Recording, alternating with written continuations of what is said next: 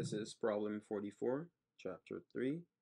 A long jumper leaves the ground at 45 degrees above the horizontal and lands 8 meters away. What is her takeoff speed or initial velocity? B. Now she's out on a hike and comes to the left bank of a river. There is no bridge and the right bank is 10 meters away horizontally and 2.5 meters vertically below. If she long jumps from the edge of the left bank at 45 degrees with the speed calculated in A, how long or short of the opposite bank will she land? For section A, for a long jumper, the earth is y equals 0. She'll jump, land.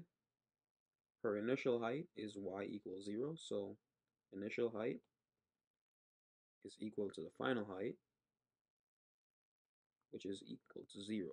Because our initial and final height is equal to 0, we can use the range formula. The range formula is r for range equals initial velocity squared sine 2 theta naught divided by acceleration due to gravity.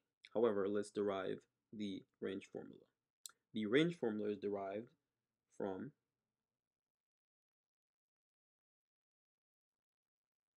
change in x, displacement, equals initial velocity in the x direction times time. She'll start from x equals 0 and land at x. So x in this case is going to equal r. That's the range. So the change in x, final x, r minus 0 is r equals initial velocity, the x component of the initial velocity times time. We don't have time. So how do we solve for time? We can use the time of flight equation to solve for time. We can use the time of flight equation to solve for time. That equation is final height equals initial height plus the velocity, y component, initial times time plus 1 half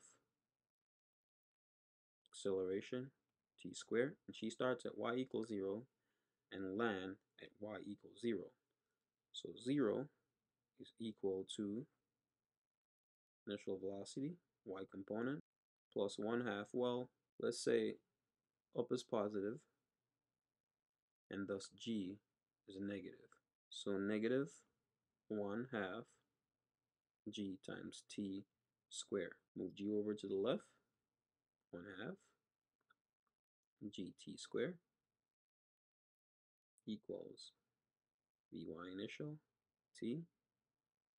And if we solve for time, t is equal to, to the initial velocity in the y direction over g.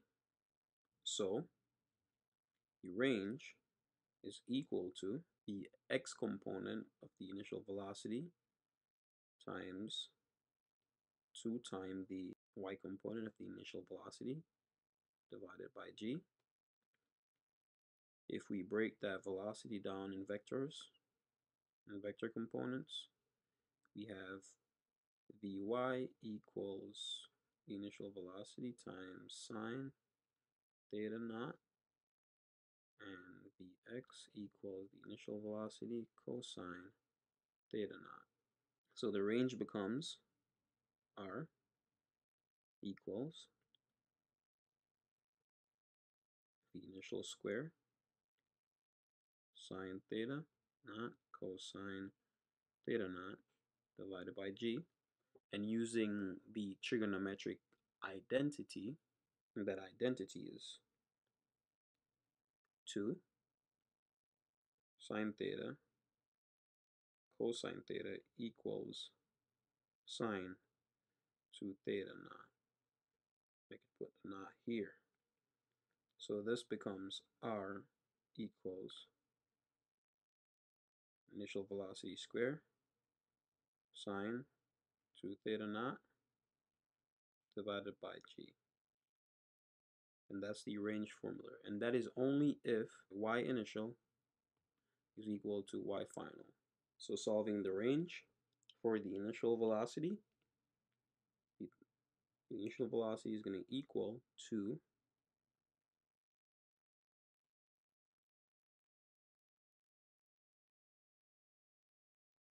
g times r over sine 2 that's 2 2 theta naught and the initial velocity is going to equal 8.854 meters per second and that's approximately 8.9 meters per second.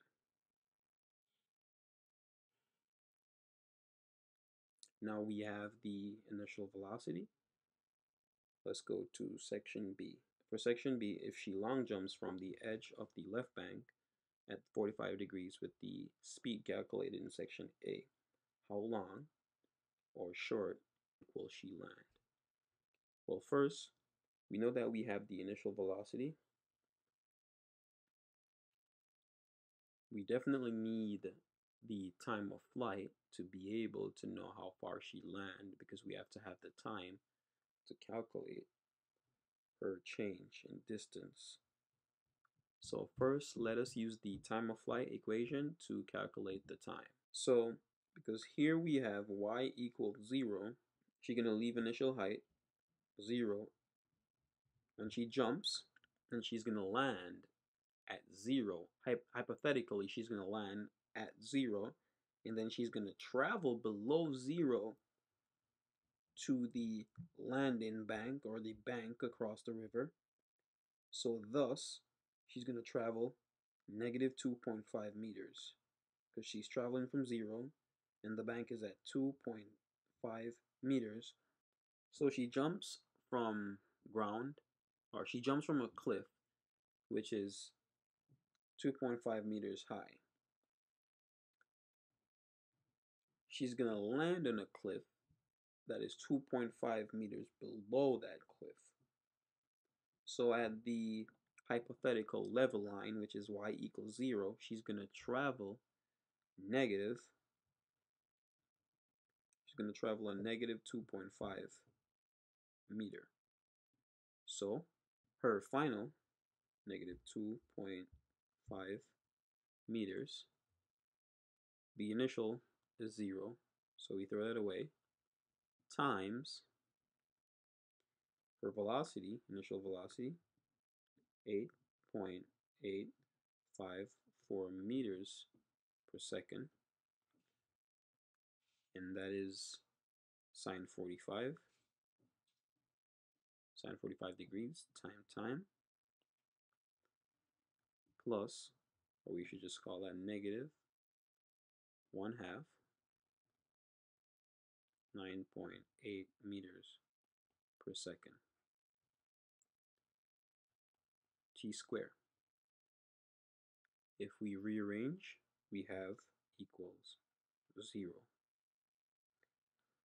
Solving for t, factoring and solving for t would be a headache, so we use the quadratic equation, and time will equal to negative 0 0.319 seconds, or 1.597 seconds. So we have the time. Time cannot be negative. So we're going to use the positive. So for B, we're going to use the positive time to find the horizontal displacement during the jump. So how far she, how far will she land will be determined by the change in x equals the initial velocity, and that's the x component times the time. So her displacement is going to be 10.0 meters. How long or short of the opposite bank will she land? So she, she will land exactly on the opposite bank, neither long nor short.